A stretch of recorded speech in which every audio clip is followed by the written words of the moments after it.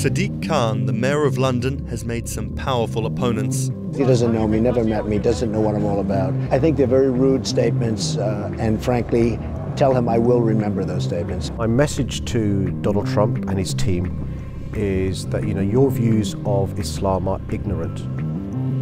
He's the first Muslim mayor of a major Western capital and proud of it. This is how Sadiq Khan went from the son of Pakistani immigrants to a lawyer, lawmaker, and now the mayor of London.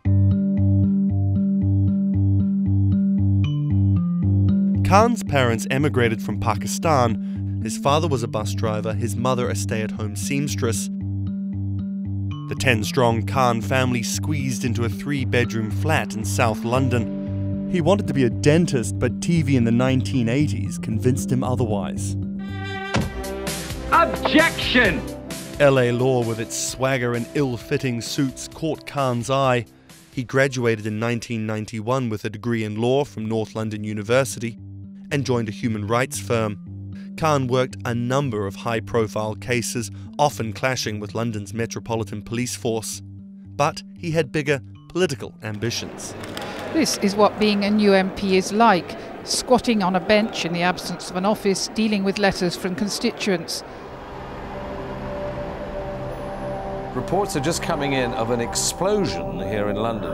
So there's just explosions, and then it was just smoke everywhere. Everyone's just asking what's happened, what's happened. Only two months after Khan entered the Commons as a Member of Parliament, London was attacked by Islamist extremists. That day will stay with me for the rest of my life. He spoke out against the attacks both as a London MP and as a Muslim. He has been very clear about his opposition to violence, opposition to terrorism, and has set out to make the case for a more, a more open and peaceful Islam. That's Thomas Penny, one of Bloomberg's Westminster correspondents. Here is a man who is a Muslim and he is standing up and being open and straightforward and being clear that the problem here is not Islam, but it's Islamic extremism. In 2015, a decade after the attacks, Khan ran for mayor of London, and his faith was back in the headlines. His opponent, Zac Goldsmith, trying to link Khan to radical Islam. The debate got again personal and nasty. The Goldsmith camp has called Khan extreme and accused him of associating with, quote, those who seek to do our police and capital harm. There's a pattern of behaviour. Even the former Prime Minister David Cameron repeated the allegations. He shared a platform with Sajeel Shahid, the man who trained the ringleader of the 7 7 attacks and accused the United States of bringing 9 11 on themselves. But the smears didn't stick. Zac Goldsmith ran a very negative campaign that was based on what people knew was a lie. This election was not without controversy. And I'm so proud that London has today chosen hope over fear and unity over division. After taking the mayor's office with a comfortable majority, Khan has brought a business like efficiency to the role, scrapping expensive vanity projects like the Garden Bridge and the new Routemaster buses, which cost £350,000 each.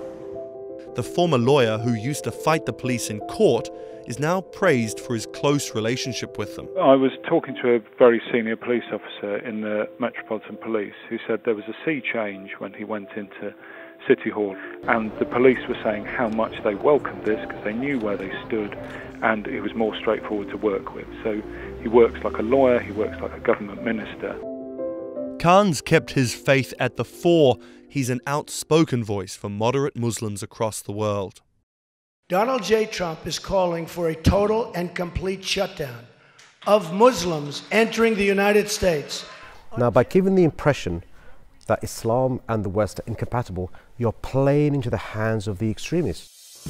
The ongoing spat between Khan and US President Donald Trump escalated when Trump went after Khan, misquoting him on Twitter just hours after the terrorist attacks of June 3, 2017.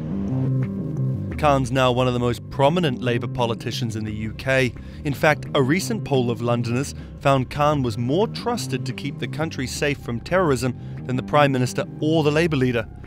His story of going from the son of an immigrant bus driver to the mayor of one of the greatest cities in the world plays well with Londoners. But can he appeal to the rest of the nation? Has Khan got his eye on the top job? And is the UK ready for a Muslim Prime Minister?